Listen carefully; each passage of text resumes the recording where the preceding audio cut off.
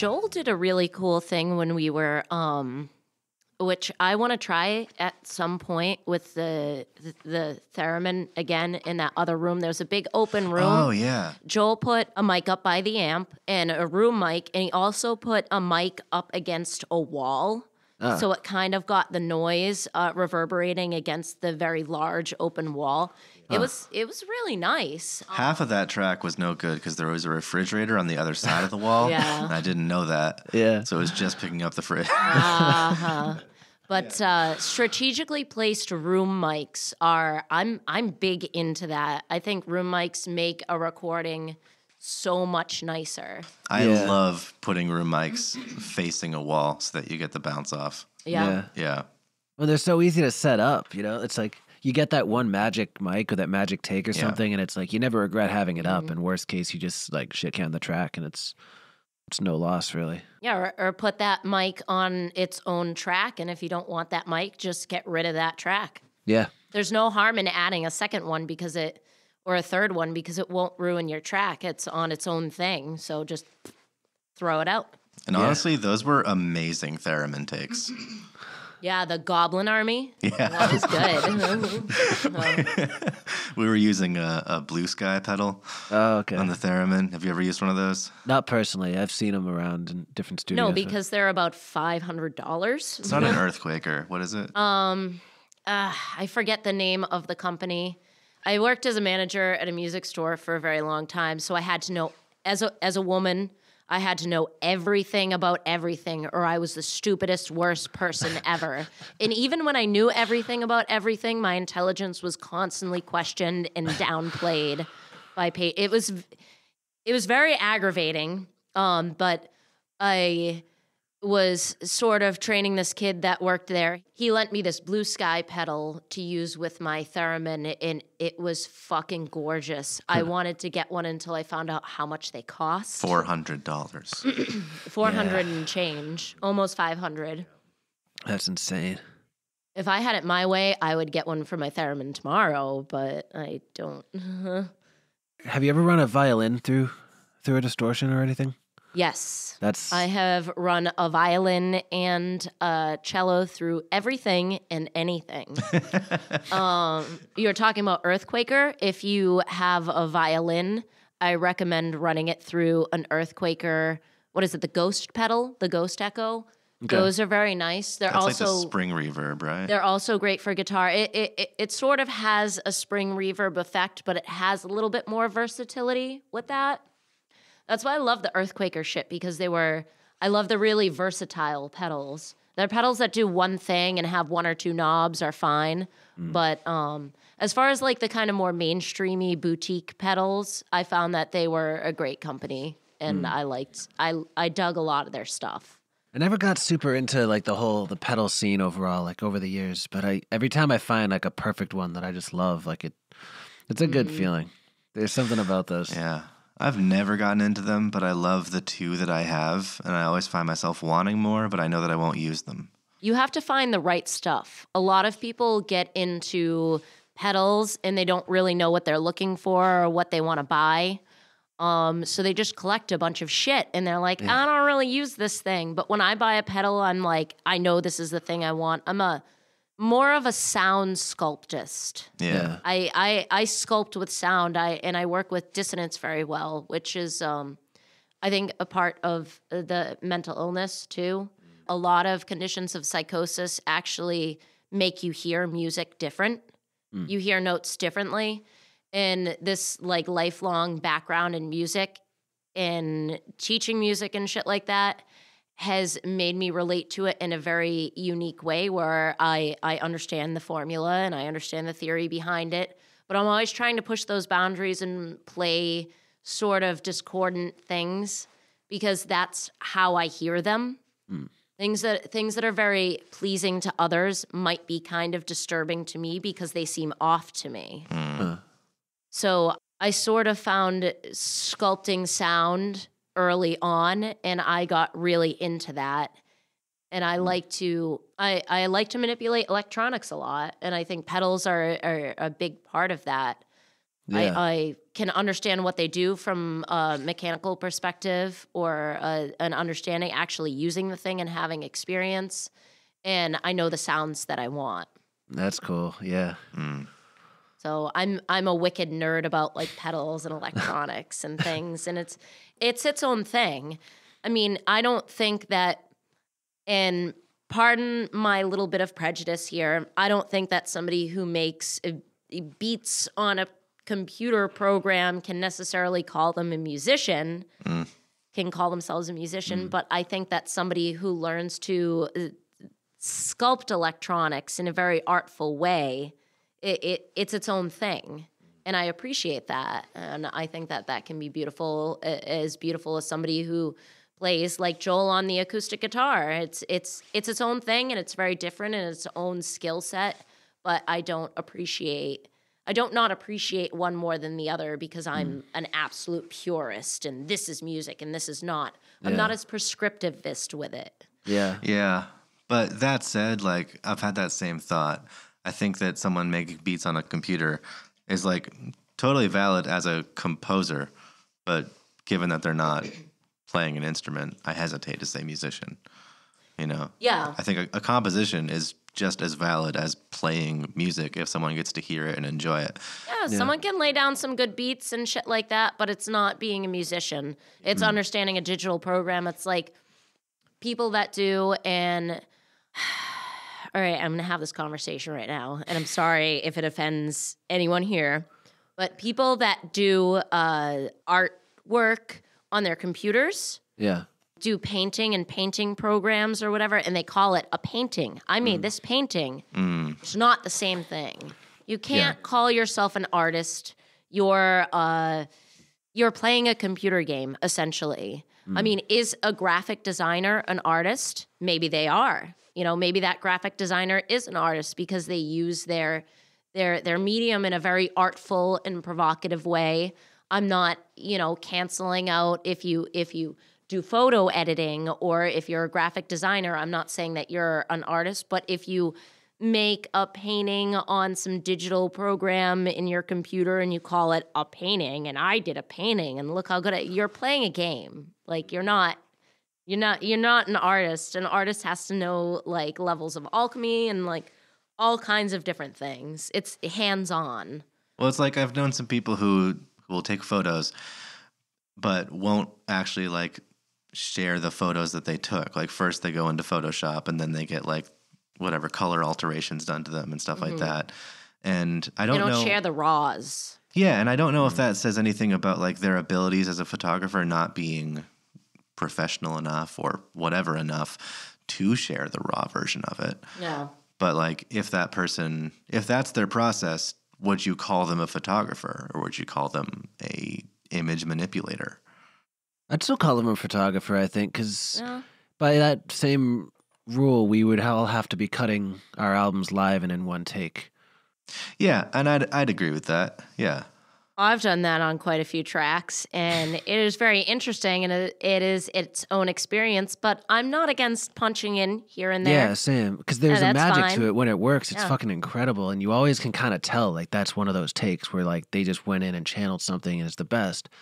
But yeah, punching in is also the shit because like it's yeah, there's some times where it's like no, that's the move. Like that's the I want to take that piece of it. So I feel like it just if you mean it and if you're really just doing something with Mhm. your time in that moment, it can be art, it can be whatever. But we comport like a lot of different media with these senses of like aggrandized like I don't know, sometimes it's like a spiritual thing, sometimes it's just a sense of achievement, but we it's sort of a bummer that like something like painting is what we consider to be art or something like music has got to be sitting there playing an instrument when it's like it could kind of be anything. You know, you could I could bang on a trash can or drum on a street light, and Yeah. who's to say that that's not music? You Yeah, know, back in the 30s yeah. in O City, before Charlie Christian played electric guitar, that's what he was doing, Yeah. and that's where our fucking modern rap comes from. You know, people banging on a trash can and saying melodic words to it. So it's like you know the um like the digital painting that you mentioned earlier. Like I totally agree that that wouldn't be a painting because there is no paint. Like you're not painting anything, so you can't Yeah. call it a painting. But it's something else, you know, and that doesn't necessarily like I couldn't fucking do that. I couldn't sit down at a computer and and make anything worth looking at. So it's it is tricky. It's I'm noticing it a lot with a lot of different um, a lot of different media right now when digital stuff's getting more popular. Like it's I always have this fight with my brother over like EDM kinds of stuff because he's Yeah. really good at producing that kind of shit, and we always have the the debate about like which one is valid is is like traditional music or traditional music production as compared to MIDI stuff is one of the more valid. And my position on it is that like a lot of those guys are musicians but what you're mm-hmm. hearing is them as a producer. Yeah. you know like they're separate jobs. You can be both. You can be one or the other. You can be incredible at both or one or the other. It doesn't diminish. Nothing has to be mutually exclusive you know? Yeah, and a, a lot of people do that because they want to make money. Yeah That boils down to our what is going to produce money. It's like if I paint pictures of people's dogs in tuxedos because that's what art school tells me makes money. yeah You know that that's what art is. Yeah. It's it's not. Um, that being said, I did know a band back in the day that I saw this for the first time. They were they were teetering on the EDM before EDM was actually kind of a thing. But what they did was they played all of their instruments live and they looped and sampled them and manipulated them with some of their computer programs. But they were playing, you know, two guys were playing a guitar, a bass, a saxophone, a violin, all these different things, but they were putting them into these computer programs and manipulating them mm. and rapping over them and shit. And I was like, a lot of people were like, they're cheating. And I'm like, no, that's a whole nother skill level. Yeah, no, that's, that's fucking really dope as shit that they're doing that. I love that. Yeah. Yeah there have to be fucking rules in order for you to be cheating There's Yeah. no- what are the rules? There are no fucking true. rules. Yeah. And who decides the rules? And a lot of people believe that the elite decide the rules, even though if they don't understand that they are directly like contributing to that belief, that they still are. Well, yeah, that's the thing. Like the the quote unquote elite, or maybe I shouldn't say elite, but just like the people that I'm most influenced by, and that I consider to be the talent most talented guitarists that I'm influenced by. I can't hold myself in comparison to those people because my process is completely different, and my philosophy behind what goes into composition and recording is completely different, and it necessarily has to be because I'm terrible at recording. And like for some reason. I get like regardless of whether it's probably when people are there watching me, like if there's a producer, I'm a, I'm better because I feel like there's more pressure. But if I'm alone and recording myself and there's infinite takes, then I screw up a lot. Yeah. And then I get into this my headspace where I'm like, well, why am I such a bad guitarist when I'm alone? And- I'm a little back and But- forth with both. Uh. Yeah, but it's like you know, I'll I'll do several takes of a song and then pick and choose the the parts that I feel came out the best, mm. and I'm really subconscious about like string squeak and and shit like that. That mm. Every acoustic guitarist that I admire is not afraid of string squeak, and you hear a ton of it in the recordings. Mm-hmm. And so like I'm just, it's like why am I so afraid of that? But I'm a perfectionist, and I get like really hard on myself. But I don't think that doing multiple takes or like picking and choosing what were the best moments in the song and only broadcasting that and only saving that detracts at all from the artistic value of it because like to me I'm trying to capture the composition and I'm not necessarily worried about capturing the moment. yeah Whereas a lot of artists are more concerned with capturing the raw energy of a moment. I think there's a balance of both there. Yeah, there's that a can ton be of value to relevant depending upon the situation. Yeah, but I'm going through this right now with with Grand Honey because we did a recording session and we did everything live, and now we're overdubbing stuff, and it's finding that balance between where was the best raw energy, where there were probably some fuck ups and it was not like the oh, best yeah. thing to listen back to, and then where are the moments that were just like perfect and we can like kind of record over that and overdub and polish it a little bit and there as you know and we're like partially a jam band so where are the moments that necessarily need to be raw Yeah. and how do we showcase and highlight those in order to keep our kind of jam band label which i don't so much care about but they do Let's and that's be important a jam band. oh God! if I had a dollar for every weird guy who was like, "Do you want to get together and jam? Oof. Let's get together and like have an art night."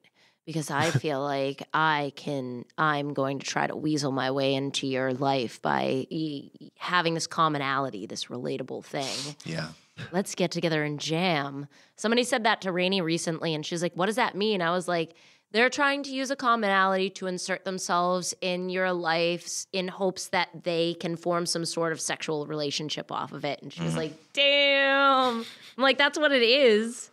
Oh, I wouldn't be waiting on this stimulus check if I had a dollar for every motherfucker who was like, "You want to jam?" no, I don't want to fucking jam with you. I have my own shit going on. Leave me alone. I stopped saying yes to "Do you want to jam" a long time ago, It feels good. and yeah. yeah, right. It Oh, I really hate it, does. yeah. It's A boy's trying to get at you. no, no, no. I mean, Like, completely jam. different dynamic than what than what you're talking about, of course. But like, uh, no, I, I was having this conversation with Ryan Herrick the other night um, about like the roles that you have to recognize within a jam session or within a rehearsal or within a new band or anything, and like, like you never quite feel satiated or seen or validated until you know that your role as a player has been recognized and seen by the other mm-hmm. players and you can't all just be expected like okay now you take rhythm now you take lead now you take like Yeah. you don't play every single role in a band and i feel like when you get together to jam that's the assumption unless it's someone like ryan or unless it's someone like that i really share very organic commonalities with then i feel like i can't bring any of like my unique stylistic Yeah. capabilities to the jam session and they're just going to want to play Free Bird I feel that. At least when somebody asks, or usually asks, if you two would like to jam, yeah they are doing it because they like your music, Right. or because you they they value you as music. Maybe they like a couple songs that you did, or they like your unique style, or whatever. But when somebody says it to me, it's not for those reasons. yeah mm. They want to include me in their band because they want to be appropriative. They want to they want a lady in their band because they think it's going to up their appeal. And that's fucked up. I'm mm-hmm. filling some kind of quota all the time. And I can do way more than that. Like I'm a, I'm a fairly decent musician and I'm very versatile and I can do my specialty is weird shit. I can do a lot of weird shit. So if you want some weird shit, like come at me, but most people don't do that. They they want to jam for other reasons. yeah And it sucks for me because I don't feel respected as a musician or a creative, even if somebody is like, hey, do you want to get together and play some music sometime because I respect you? Mm. When somebody says that to me, I'm like, I don't believe you. You're lying because that's all I know. And I, I prescribe that to everybody. And it's unfortunate, but that's the way I'm conditioned. And I try not to be like that. But every time I try not to be like that, I'm usually proved wrong. I mean, it makes it really hard to be open minded or optimistic about those things when I've I've seen Rainey's share screenshots of people saying we think it would be good for us as a band to have a female drummer. Yeah. And it's like, well, Oh, people ask me that all the time. Like I said, I worked at a manage- as a manager at a music store. Everybody would come in and be like, "Oh, you're a singer? You want to sing with me? You want to sing in my band?" And it's like, "No, I'm not a singer." And they're like, "Come sing in my band." they just want me for my appeal. They don't even hear me. They're like, "Come sing with me," and it it sucks yeah, it, it feels like people don't ever just like value me for what I do. And it's the same thing with art a lot too. Like uh, I feel like a lot of people are only interested in my art because like I have a fucking vagina, and it it makes me feel like less than what I am a lot. Because there are a lot of people who will come at me and genuinely be like, "I like your art and I like your music," and again, I'm like, "I don't believe you." Yeah. that little devil in me. But I didn't make that devil in me. Other fucking people did. And when people don't come to my defense on certain things and be like, yeah, sexism exists in music. When Yeah. motherfuckers come at me and be like, well, I don't listen to music because somebody is is a woman or is pretty and that's not my own person. I'm like, yeah, I'm saying that this exists and this is a problem and it's not just a me thing. So it it's hard to navigate when you should jam and when you should not jam. That's Yeah. the point. Well, most of the people who suggest it too, it just, I mean, in a different way, obviously, like I haven't experienced it as much from that particular perspective, but the people who say that they want to jam, like in that, would you like to come over on Thursday night and have a jam session? They just want a solo for you. Yeah. They don't want to fucking jam. They just want to kind of jerk off to Hendrix for like an hour and a half, and then you get to go home. It's the same It's thing. awful. So you are experiencing the same thing, but from a different sort of gender role.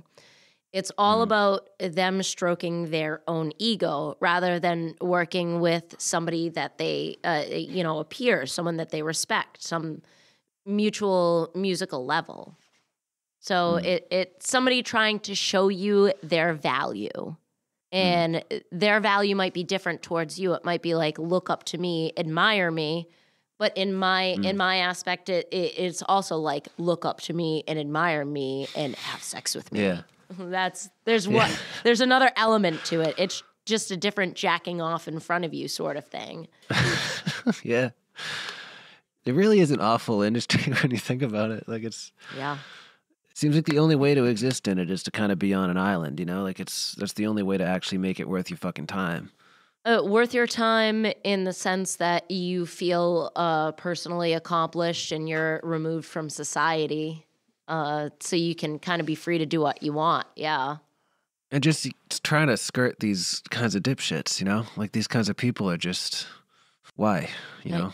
You can't skirt them. Yeah, they're, They're everywhere. Always gonna fucking be out there. And that's what sucks about it. But Yeah. j- just don't jam with those weirdos that are trying to jerk off in front of you. You know, if you if you need somebody to call when you feel unsafe in one of those situations to pick you up, just like trade phone numbers with me. And, you know, you could call me and be like, this guy is jerking off in front of me. He asked uh, to jam, and I don't really know what to do the in a woman's world or a more feminine world will be like, I got you, bitch. I'm gonna come pick you up right now. You feel unsafe, like tell him your big ass daddy is coming to get you. like that's what we do. That's what we do for one another. And it doesn't have to necessarily just be with or among women. It could be anybody. you know? see, selfishly, I, I like those situations a little bit. I just find that it makes me mean, you know? Like, I like when somebody starts to do that because it's like, okay, like it's fucking on now. But it's not a feeling that I like, you know? oh. So overall, it's a negative experience. And uh, It turns into a competitive thing with you a little bit then. Yeah, it turns into war at that point. It's like, you want to fucking do this, you're going to have to keep up. And I like that challenge, but it's like, ugh, fuck guitar players, you know? I'm a guitar player. I think we all we are. Okay. But yeah, we're on that same level. Fuck guitar players. I agree.